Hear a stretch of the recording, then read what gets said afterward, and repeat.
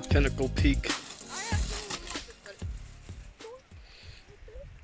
Uh, Mount St. Helens. Mount St. Mount Rainier. yeah, why don't we go farther up into our